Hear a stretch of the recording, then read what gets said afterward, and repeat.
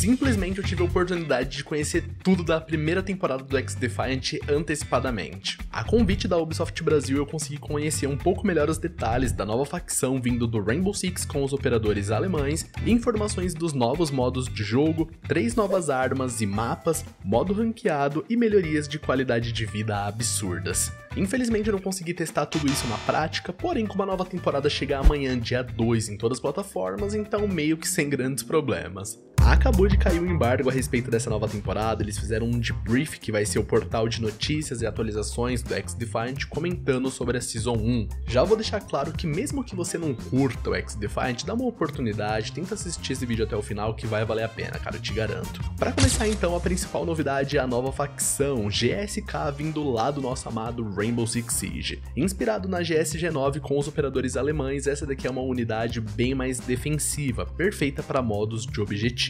Agora chegam ao X-Defiant o Jäger, o Blitz e a IQ como personagens representantes com nomes diferentes e quatro habilidades. A passiva deles é basicamente uma alteração no multiplicador de headshot que faz com que você sofra menos dano com tiros na cabeça. Pelos operadores da GSG-9 possuírem capacetes balísticos, os devs acharam que isso faria sentido, e o dano com tiro na cabeça ele vai ser como se fosse um dano de tiro no peito do seu personagem. Então, para as snipers, por exemplo, vão ser necessários dois tiros na cabeça da GSK para finalizar. Com as habilidades táticas, isso daqui é o puro suco do Rainbow Six. A primeira opção de habilidade tática é o SDA do Jäger, um Trophy System, anti-granada, coisa simples e funcional. O legal desse SDA é que você pode posicioná-lo em qualquer lugar que você alcançar, como no teto, por exemplo, e se liga só nisso, diferente do SDA no Rainbow Six, aqui no X-Defiant ele não possui cargas limitadas. O SDA ele fica ativo durante 25 segundos e durante todo esse tempo ele captura todos os então se chover 15 granadas, ele vai pegar todas as 15 granadas. Cara, isso daqui é um absurdo. Só que aqui entra um contraponto bem interessante. O SDA ele pode ser destruído normalmente ou hackeado pela tática da DeadSec, que simplesmente assume o controle total do SDA com uma simples ativação e daí já era sua proteção anti-granada. A segunda opção de tática é o arame farpado. Você possui três arames que podem ser posicionados pelo mapa e eles cobrem uma área até que bem boa do mapa. Passando pelo arame, os adversários ficam lentos, obviamente, e sofrem bastante dano. Porém, ele pode ser destruído bem rápido na base da granada ou com uma simples porrada melee ele já é destruído também. Só que imagina combar arame farpado, um SDA e os curandeiros do Far Cry no mesmo objetivo. Pois é, já deu medo só de imaginar. Só que a habilidade suprema da GSK é absurda. Durante 30 segundos você vai ter como utilizar o escudo do Blitz, que consegue cegar adversários de distâncias super longas e que, diferente do escudo já existente no X-Defiant, você pode utilizar a sua arma secundária ao mesmo tempo. E é bizarro como a arma fica sem recoil com esse escudão, fica uma parada de outro mundo. Padrão X-Defiant de Suprema, né? E por mais que pareça muito forte, os devs mesmos comentaram que se for necessário eles vão balancear melhor tudo isso já na segunda temporada desse ano.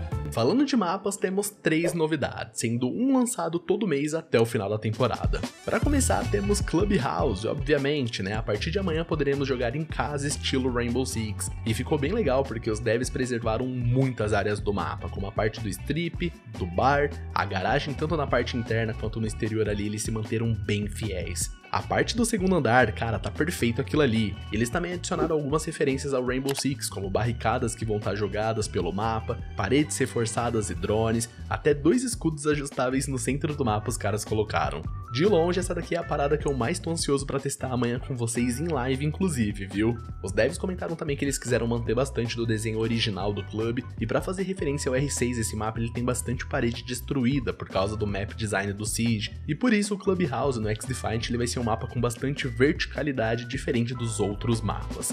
E daí no próximo mês, em agosto, chega Daytona, trazido lá do The Crew 2, e em setembro o Rockefeller vindo da expansão New Dawn do Far Cry 5. Falando de modos de jogo, sim, temos novidades no plural. A começar, teremos agora o modo de captura bandeira. A Ubisoft já tinha confirmado que ele chegaria, porém não ficou muito claro. Não foi confirmado se ele já chega amanhã no dia 2 mesmo ou se chega depois, porém, chega na Season 1, isso daqui é certeza. Além do mais, os devs ouviram a comunidade e sabem o quanto a galera tava querendo um Search and Destroy. E por isso, na Season 1 vai ser lançado o modo Bomba, bem estilo Rainbow Six também, com estilo de plantar desativador, proteger a bomba, virada de round e tudo mais que a gente já tá acostumado. Ambos os modos vão estar disponíveis na sem colocação e os devs comentaram que todo modo de jogo novo terá um tempo de adaptação para ver se ele merece ou não entrar dentro do modo ranqueado. Já falando disso, inclusive, modo ranqueado chega agora na Season 1. A Ranked ela vai ser diferente da casual, com apenas 4v4, não vai ser 6 jogadores contra 6 como é na casual, com 4 opções de modos de jogo, com ocupação, dominação, zona de controle e escolta. E também tiveram mudanças de regras, então no ocupação ranqueado, as zonas são pré-determinadas, então se você masterizar isso, você já pode ganhar uma vantagem no começo da partida. No Domination, você joga durante 5 minutos em um lado do mapa, depois pausa a partida e você troca de lado com a equipe oponente para você jogar daquele outro lado do mapa. E no zona de controle, os defensores conseguem recuperar o progresso da zona que os atacantes tinham capturado, enchendo o círculo da zona de volta. No modo ranqueado do X-Defiant existem 7 rankings, sendo eles o bronze, prata, ouro, rubi, esmeralda, diamante e legends, ou lendas em português. Para cada ranking, você precisa subir 10 níveis para alcançar o próximo ranking. Então, do bronze 1 ao bronze 2, você vai precisar de 100 RP, que são os Ranked Points.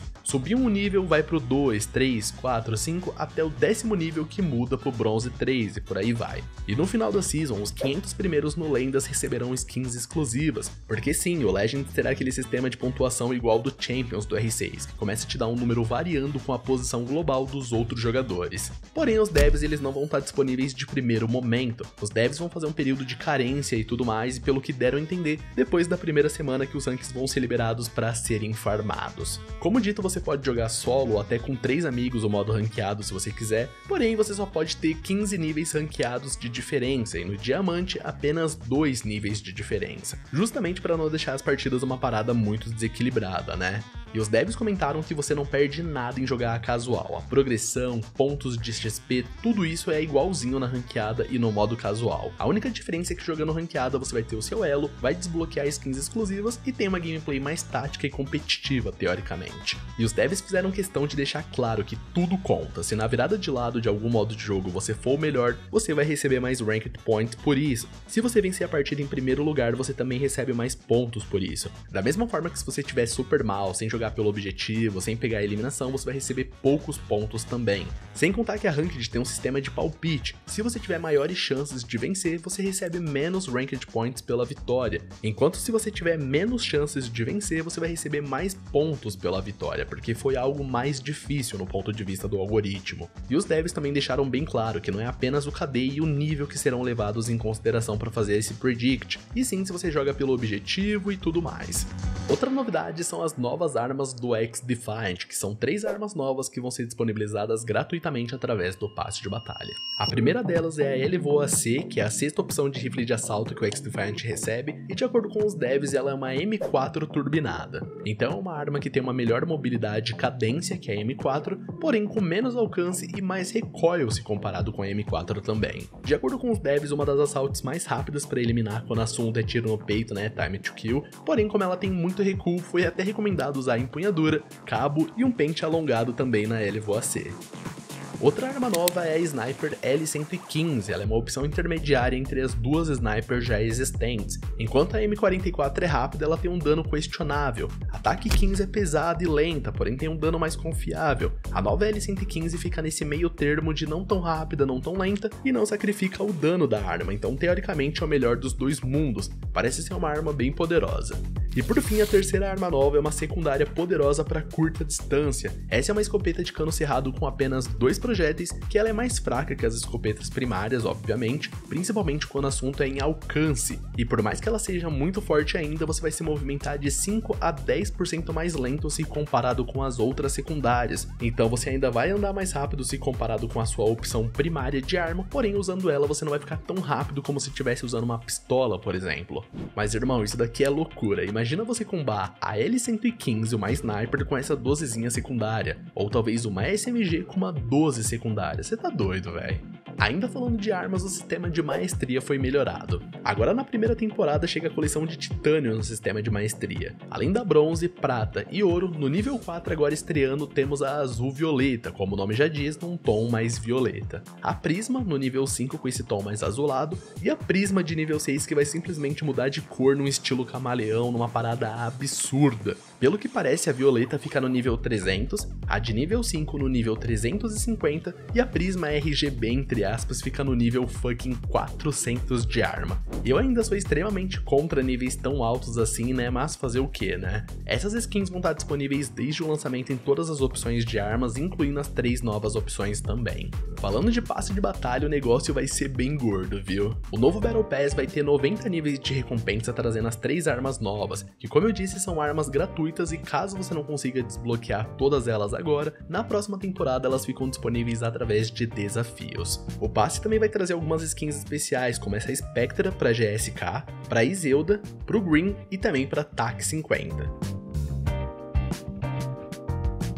A SVD também recebe uma nova skin épica com dragão, detalhes dourados e tudo mais. A IQ recebe uma skin lendária chamada Thunderbolt, com os raios saindo ali do uniforme, uma parada bem especial. O Rafa recebe um uniforme raro chamado Wild Card, bem como o Jäger, ou Captain, como é chamado no X-Defiant, e a M4A1 também. Outra skin de arma é a Power Washer para ACR como uma skin épica, parecendo arma de brinquedo de água, tá ligado? Além disso, teremos novas animações de jogador raras bem variadas, fazendo muque, joinha e tudo mais que é possível. E por fim, reforços de pontos de experiência, 1300 moedinhas de volta, cards animados, conjuntos de emoji e muito mais. E mano, eu fico de cara, como o X-Defiant ele tem tantas coisas simples que a gente pede há anos para a Ubisoft adicionar no Rainbow Six e nunca aconteceu. Nessa nova temporada, por exemplo, vai ser introduzido um sistema de código de apoio a criadores de conteúdo. Assim como é no Fortnite no COD, acessando a loja in-game, você vai ter uma lista com todos os influenciadores que participam do programa, e você vai poder escolher um deles para apoiar o trabalho e dar uma leve comissão sobre as suas compras na loja durante 14 dias. Eu não tenho o código disponível por enquanto, mas se você abrir a sua loja, ver lá GC Gamer, seleciona nós porque a gente tá precisando pagar umas contas, rapaziada. E eles fecharam o painel também dando um leve teaser a respeito das novidades futuras que o jogo tem para receber, como por exemplo suporte a mouse teclado nativo nos consoles, que está em desenvolvimento, mas sem data de lançamento por enquanto, bem como as partidas privadas, que estão confirmadas também para chegarem no futuro. E o Marco Rubin, que é um dos produtores do X-Defiant, confirmou que a Killcam está em estágios de teste e deve ser lançado logo mais, assim como a inspeção de arma que pode ser vista no teaser da Season 1 no Ubisoft Forward também, então acho que até a Season 2 ou Season 3 ela chega no jogo. E rapaziada, quando eu digo que esse jogo ele vale a pena, eu não tô falando isso da boca para fora. Dá uma chance pro X-Defiant que vale a pena, diferente do COD, tem muita coisa que precisa melhorar, porém ele é um jogo gratuito. Baixou, jogou e se curtir continua, caso contrário só desinstala e segue a sua vida normal. A primeira temporada já chega amanhã, dia 2 de julho, em todas as plataformas para você testar tudo isso daqui do vídeo de hoje, eu só tenho a agradecer ao Ubisoft Brasil pelo convite para conhecer tudo isso de antemão. E claro, muito obrigado a todos vocês também que assistiram esse vídeo até o final. Eu espero de coração poder contar com todos vocês por aqui no meu próximo vídeo e até mais galera, fiquem com Deus.